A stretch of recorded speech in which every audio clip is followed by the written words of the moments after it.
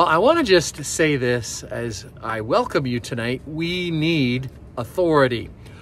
Authority is probably the most misunderstood word in many ways in the church uh, today. It's one of the most misunderstood things. We think authority, we think put you in a position of power. It's a very strange thing. If I say authority, you say, what does that mean? A position of power. Now, it's very, very interesting, and I want to just knock on this for a minute, and it's interesting. In the Bible, if you say authority, we say position of power. What's interesting about that is it's the opposite of power in a sense. In a way, the Bible's version of authority and our version of authority, it gets lost what the Bible is saying. And as a matter of fact, a position of power is not what it is in the Bible. Now, I said this last week. I'm just going to show you a couple interesting things. And I'm talking here tonight out of the Bible. We looked at this last week. I'm going to actually give you some scriptures. Now, Exodus 24 talks about the 24 elders. Uh, no, it talks about the 70 elders. Were you paying attention? Exodus 24 talks about the 70 elders. There were 70 elders in Israel. And when Moses went up the mountain, Mount Sinai, they were at the base of the mountain. Moses went up. He ascended the mountain to meet with God. And when you look at this story, he's up there, the 70 elders are down here. Elders are usually people we think of as having authority. So there's lots of people in the Bible who have authority, but authority is not a position of power. Now, the 70 elders had a role of power. In essence, they were seeing uh, the things they were seeing. These are leaders. They're looking up there. They're seeing Moses go up. They saw God at the top of the mountain and they saw Moses go up there. They didn't go up though. And then it just says a few days later, they helped build a golden calf to worship the people of Israel. First thing I want to say is calling yourself a leader doesn't mean you're doing what God wants you to lead in. So that's a nasty statement. But the 70 elders were in charge of Israel and they had a power encounter with God Himself, which is so crazy. Yet they still built a golden calf with that memory only a few days old in their head. So that's a hard thing to explain. We would say, well, my heart is different. I don't want that. So power and authority are not the same thing. And we say, what is authority? It's a position of power. It's actually not. So I'm going to just hold on to your horses. We're going to look at what it actually means. As a matter of fact, it is not a position of power. So I want to just show you, in essence, what it is. In the Bible, power, in a supernatural sense, um, is not just what we understand it to be. Power is a gift from God. We don't do anything to deserve it when it comes. That's the biblical version of it. We don't earn it through works or righteousness. It's a gift uh, delivered by a sovereign God using his Holy Spirit. So in the Bible, when you talk about power, supernatural power, it always comes in the good way in the sense that if it's God's power, it's brought to you by the Holy Spirit. And it's the manifestation of God's love for us that suddenly appears from the invisible realm into the visible realm. That's power of a supernatural sort. We live in a day where power almost looks like an assault on people's lives. Authority is like often mean in our, our culture. And power in the day and age in which we live is very few times reflected of God's love. That's actually what it is. It's a charisma or a charism or a grace, which means love. It's supposed to be. And it's temporary. Now, this is important to catch. It's a fleeting vapor that appears for a moment, lingers, and then is gone without a trace. That's the biblical version of power. Is that what you think? When we think of authority, we think a position of power. That is not what supernatural power is whatsoever. It's temporary, and the kingdom of God cannot function without it. It's good, it's meant for good. But this is the difference. Authority in the Bible, authority is often translated power, but they aren't the same word at all. And we could never, if you're getting around very godly people sometimes, I've been around some really well known, well uh, established, godly people. Uh, I am a pastor's kid, and my dad would take me even growing up, and I got around people that there was never an accusation, lived their whole life and they lived it and they were above reproach. And I remember being around men and women and I was like, what on earth is that? It wasn't the person. You could feel something from God in the situation that that person exuded. And you wouldn't be able to, I would say in my mind, that's a supernatural power. But as I look back, there's both power and authority and power comes in a moment. But when you get around these godly people who, when I could be around them, I would feel it. And it was constant. So that's not power. They didn't have just in that moment supernatural power. At times you could see them, but I was around certain people and you would go out for dinner or at a conference and you're like, what is it about these people? It was different. And in the New Testament, power and authority are two different words and they frequently get translated as if they were one, and they're not at all. So I want to just give you the example of what this is, and then I'm going to give you some Bible examples, and then I'm going to, over the next few weeks, just settle this in your heads of how it works and the effect that it has. First step. I'm going to use a name. I don't like using names, and he's gone home to be with heaven. I went out for dinner with Reinhard Bonnke with my dad. I was a teenager. I could, I, the waiter came to our table when he went up to the buffet, shaking at the waiter, didn't know who he was, and he said to me, Who is that man? Shaking the waiter. I want you to know that it's not because of supernatural power per se showed up. He had an authority. That is quite a statement to say. I sat there and he said, all I could say is, I said, well, he's a well-known pastor. He said, you're a private, he's a general. He was shaking around this man. Not because the man was mean, He's super kind, but you could feel something from the Lord in who he was. And it didn't go away, it was kind of always there. So I just want to share there's two words in the Greek, dunamis and exousia. Dunamis means uh, in the Greek, uh, where we get our root word for dynamite. It's explosive power that explodes in a moment. The whole point to dynamite is it's not always a chain reaction that keeps going. The sun is constantly uh, heating. Dynamite explodes in a moment and then it's over in a, a split second.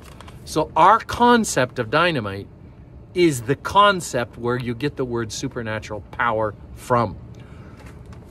Charisma power comes in a moment. It's a gift. It's made that way. It's made, you pray, it comes, it activates, it's there, it changes something, and it's gone. Authority is not that. Dunamis is power. And the root word is dynamite for our sakes. It's the explosive presence of God. And in a moment, that thing shows up and then it's gone. And when it arrives, it changes something. Exousia is completely, entirely not that. It's totally different. And it's supernatural. So you would get around godly people and you would sense it all the time, maybe with them. But it wasn't that. It's not exousia is different than dynamite. So this is really important to catch. Power, it's the rule of government or God's government. It's an authority that can command submission. It's very important to notice this. Many times in the Bible, exousia is is just translated out as power. They don't distinguish between the two, but they do completely different things. When it should be translated authority, it probably is meant to be by the biblical writers so explosive power is dynamite. And just remember, dynamite doesn't just keep exploding unless you keep igniting more. Exousia stays. Staying power is exousia. Jesus had power and authority. He had both. And at points, you can actually tell in the Bible different miracles, different things he did came from one different sources. One came from exousia, one came from power. Some healings that it would actually say they work together to get the job done. Now, I want to just say this God wants power and authority to work together in your life to get the job done on earth as it is in heaven. And we are His subjects, we are part of the kingdom of God. So you can activate and access this. It's very simple, but it works in a way that in real life, if you come up with this, you won't even be able to tell. You can sometimes tell that guy feels very, very godly. But in a moment, you don't know which one is working. So I want to just talking points here. I want to just say a few things. I'll give you a couple examples, and we're going to look at this for a few weeks. Luke chapter 4, a group gathered in a home, and Jesus delivered an incredible teaching and a miracle. The Bible says that many leaders actually were in this house and they had illnesses, and there was power there to heal them. It doesn't say any of the leaders were actually healed, but it says there was a young man that was let down through the roof. He was healed. Luke 4:32 says, "And they were astonished, the leaders in the house, at his teaching, for his word was with authority." And Luke 4:36 says, "Then they were all amazed and spoke among themselves." Uh, and it says, What a word this is, for with authority and power he commands the demonic spirits, unclean spirits, and they come out. So the first thing to notice about authority is your rule over darkness doesn't come from power, it comes from authority. That is a mouthful, and you've got to catch this. So you can have all the um, dunamis in the world, but dunamis doesn't dislodge darkness. Authority does. And it's really important to say the leaders in that moment noticed he had both.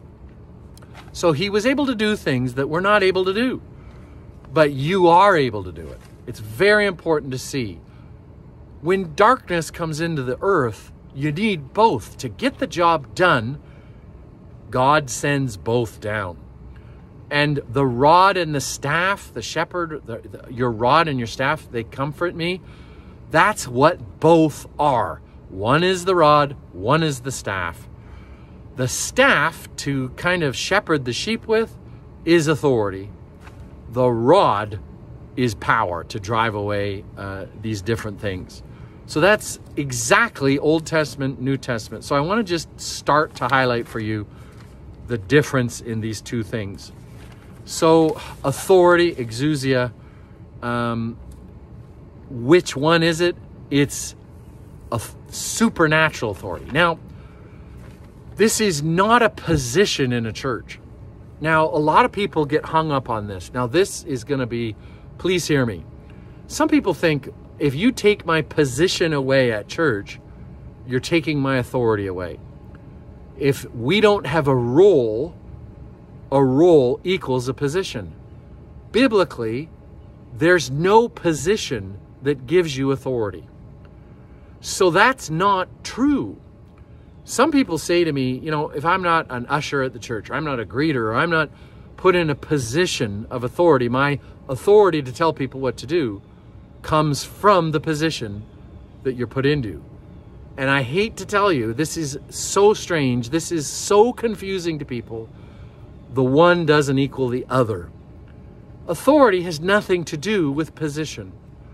I've met very godly men who have no position, God positions you for authority. And it has nothing to do with what you're let to do, so to speak, in a church. So, important notes to make. Luke 10 19, Jesus said, I have given you the power to trample on snakes and scorpions and destroy the enemy's power. Nothing will hurt you. Jesus gave in this moment the disciples exousia not dunamis, authority. So I have given you the exousia to trample on snakes and scorpions and to destroy the enemies. And this is interesting what Jesus said dunamis. nothing will hurt you. Satan lost authority when he fell from heaven, and he still has power, but he lost authority. Exousia is greater than dunamis. The authority that Jesus gave the disciples was to trample on the power, not authority, of the enemy. And the only authority Satan had is the authority Adam and Eve gave him in the garden. He had lost it and he got it back. The enemy rules by power, not authority. So that doesn't mean you stop asking for power, you just want to seek authority as well. And when the evil day comes, I'm going to stop here, and this is very important. This is going to take me weeks to walk through this. The enemy has power, and when the, Jesus said, um, Put on the full armor of God so that you may stand in the evil day, you don't need more power when the day, the evil day comes. Ephesians talks about the full armor of God. You need authority. And you need to have a heightened sense of this. It doesn't mean you stop asking for power. You just need God to give you authority when an evil day comes. Now, a lot of us are like, don't stop talking about evil day. Don't talk. I'm just telling you, if it hasn't come at some point in your life, it's gonna come. There's and there's times where it comes individually. There's times where it comes in a country. There's kind. Uh, it's kind to say this, and I know this sounds strange. It's when you have authority. You can have authority and be kind. I want you to know it's kind for me to give you this. We think of authority and think mean. Authority is kind. Godly authority is kept for kind people in the kingdom. You can stand in the evil day. God wants you to stand. But it's not mean for me to tell you this. It's kind. And it elicits sometimes a very strange how authority works is kindness. Love is kind. Jesus said, If I don't have love and I have all the power in the world, it doesn't work the way God intends it to work. God wants you to work for the kingdom, and God gives you authority, and you can remain kind. I think it's a trick of the devil or it's a sign of the times that we think authority it, to rule is to be unkind. I'm telling you, it's the opposite. The shep, the good shepherd is kind to the sheep. God wants to be kind for you. I want to just say this as I close. You can't be comforted without when you resist his kindness and authority. His authority is kind. He comforts you with it. And it, it's up to you, in a way, to realize in the evil day, you know, we say evil day, you say, you know, no way. I don't want anyone to talk about an evil day. I want you to know God is got kind authority. He is loving kindness incarnate, Jesus. And that's not a technique. When people just drive you nuts or are mean or don't listen to you, oftentimes as human beings, we start increasing the volume, getting meaner and madder. That doesn't say anything about authority. It says everything about you or the person that's doing that to you. Many times, authority is not broke by, you don't have authority by breaking someone's will down. I don't want you to know Jesus laid down his life for you and me, and he was given all authority when he did that. God wants to get you to where he has for you to go. And he wants you to work not with authority and power, he wants you to have authority and power. And it has nothing to do with have a, having a position that some human being puts you in. What people will do to you is not what God will do to you. What God does for you is special. Arrange it in your mind differently. And I'm going to leave you with this right now because you have to let this settle to get to where we're going next week and the week after. Kindness is what authority looks like. You can have great authority and be very kind. And that's the thing that the world doesn't look like anymore. When we talk about being ready to stand in the evil day, you wrestle not against flesh and blood. You don't have to be mean to people, but against principalities and power. Being kind to each other doesn't mean we're tolerant of the devil coming against us. God wants to get us to where He has for us to go, and He'll get us there in a way that will trample snakes and scorpions. But it doesn't mean we trample each other.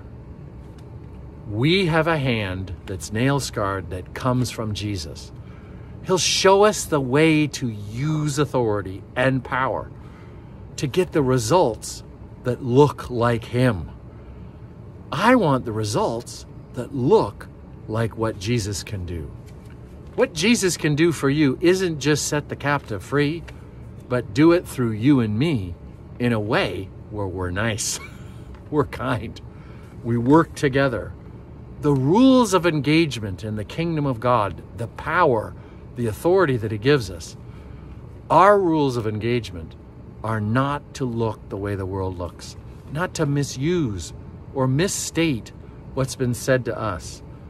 What you're actually saying is, and I want to just say this as I close Jesus said these words Your kingdom come, your will be done. What he actually is saying here, again, kingdom here is interesting. What he's actually saying is, let your exousia come and let the aftermath of that exousia be done on earth as it is in heaven. That's the word. We often say power. He says kingdom. Many times in the Bible, when he says kingdom, it's actually exousia. It's a supernatural kingdom. What does the kingdom of God look like in you? Nice, kind. I can get up on church in church and say, "Praise the Lord," and the Lord puts something in my heart, and it comes out of me nice. That's authority.